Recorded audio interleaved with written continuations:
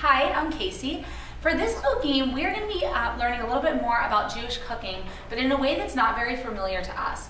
A lot of people don't often think of places like Ethiopia or Morocco or Yemen or Syria as really being at the forefront of amazingly traditional and delicious Jewish cuisine.